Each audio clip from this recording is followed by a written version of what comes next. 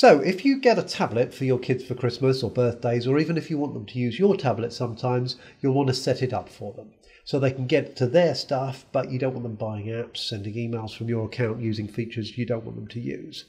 But you might also want to limit their time on it, stop them playing games after a certain amount of time, um, or give them rewards if they do more reading. So here's the tablet my kids use. It's a Kindle Fire, so I'm going to show you how to set that up for parental controls. I'll show you what you can do with it and a few other features that don't work so well and how you can deal with them. Um, I'm a writer of children's uh, books for children. Uh, I wrote the Act Normal series of books, which are great fun for kids. They're on um, Amazon, uh, and it's designed for kids who are just getting into reading on their own. So just type in Act Normal into the Kindle bookshop, and you'll find them. Um, now, the Kindle, I think, is the best tablet for kids because the parental controls are excellent. Uh, there's a few problems, but on the whole, they're pretty good. Um, so to set them up, first of all, you'll need to set up your Kindle with a password.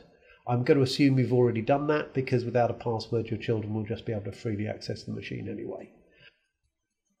So setting up an account is fairly easy. Just swipe down from the top of the screen, uh, go to Settings, then go to Profiles and Family Library. Here you can add a child to the profile. Um, you can put a photo in there. You put their name in there, uh, your birth, their birthday, uh, their sex, um, and then that allows you to set up an account for them. Here's one I've already done for one of my children. As soon as you create a profile, it'll appear in the pro- profiles and family library. Now there are two important areas in this bit: um, the daily goals and time limits, and the child's content. Let's do the content first. Uh, this is a list of everything that's on the Kindle, uh, and all you have to do is put a check against anything you want them to be able to access. So this will show you all the apps, all the games, all the books in your library, and you can just choose quite easily which ones you want them to be able to read. Here's a book you want that I'd like them to be able to read. Here's an app. Um, Fifty Shades of Grey, not so much. So you just check whatever you want them to see on their system when they open it up. It's worth noting here that at the time of recording, there are some things that let this system down a bit. Uh, there are some built-in apps that don't appear. The web browser, the calculator, the note writer apps, maps even. It just won't allow kids uh, you to let the kids use them, which seems a bit silly. Uh, so the workaround for this is if you want them to be able to do these things, just go to the Amazon shop and find apps to replace the built-in ones. There are plenty of free ones for most of these, and if you can find any useful ones, please put them in the comments underneath this video so that other people can grab them, because I think it's a bit of a limitation. And it's handy to have a bit of a list down here of uh, things that uh, people might want to use. Anyway, when you're finished, click Done uh, now go to daily goals and limits. Uh, you can see a few things here. First, check that the limits are set to on at the top. Um, bedtime defines the hours the Kindle turns off, so they can't wake up in the middle of the night and play Minecraft. Although, frankly, if they do wake up, I'd rather they played on the tablet than come and wake me up, but that's just me. Um, the educational goals for books, videos, and apps are a way to make sure they do reading before they can play games.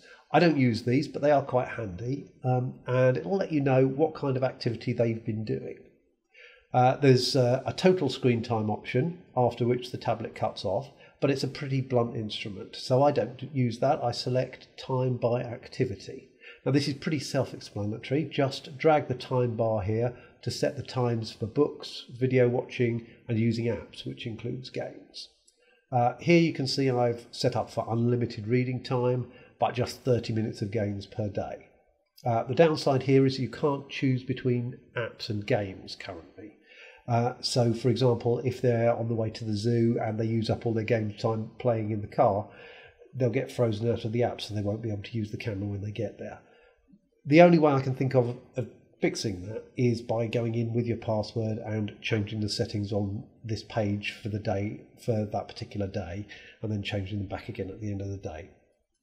Again, it's not ideal, but uh, it would be nice if it could distinguish between games and things like homework apps or um, useful stuff like uh, like uh, word processing or, or whatever, but it can't. So uh, what you have to do is change it and then change it back. Now, So now I'm basically there. If I turn off the tablet and turn it back on again, I see the icons at the top allowing me to log in either as myself with my password or as the child. Um, now, the only things that are available if you log in as the child are those you've chosen for them to be able to access. If something doesn't appear, just click on the apps or books button and they should be there. Tap them uh, to download them. It's as simple as that. Um, there is an additional thing called Amazon Free Time, which is basically a library of kid friendly apps that you can subscribe to at a monthly cost. I don't do it because I prefer to buy stuff for my children one at a time. Um, to buy or download books for them, just log in as a grown up and go to the Amazon shop. And when you do, please search for Act Normal uh, and take a look at some of my books. Download the free samples and, and let me know what you think. And that's all there is to it. Um, hope this has been useful, and thanks for listening.